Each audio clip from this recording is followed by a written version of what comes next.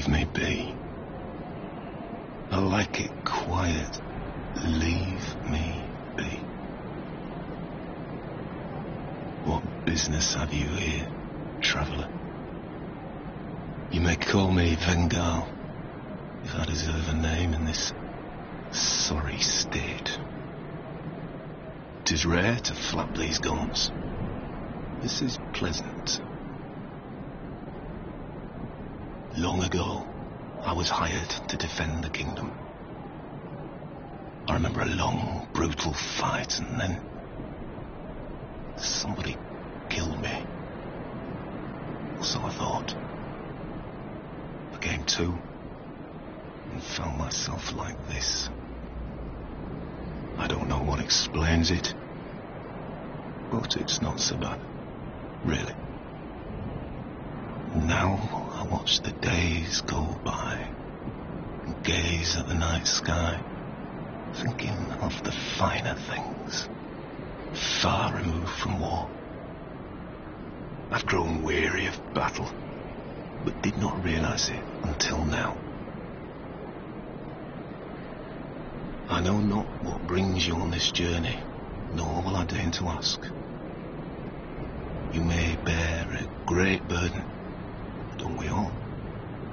I prefer to stay my distance. But I want to warn you of something. My body. I see visions. My body, headless, raging without me. My body wielding my sword, a sword forged only to kill. My body will show no mercy. If you see the wretched thing, stay far away. I learn new things every day. Things never learned in battle.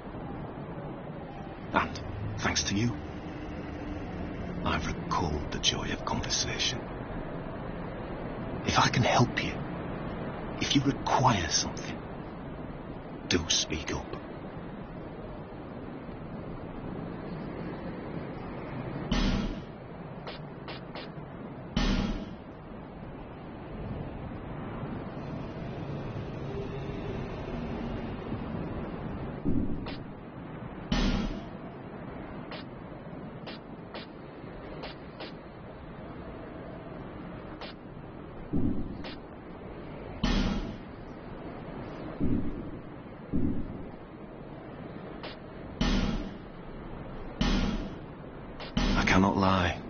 Sometimes I wonder what's become of the kingdom. I was a hired hand, yes. But we soldiers stared death in the eye together. And for his highness, I am afraid. But perhaps it's for the best. We knew not what we fought for. I was born in Forossa, to land in the distant east. When I was born, we were already mired in prolonged conflict with our neighbours. Eventually, our kingdom fell, and our people scattered. It's been a sellsword ever since. All I ever knew was war, and I can imagine no other way to live. What a fool I was. I am grateful for these peaceful days.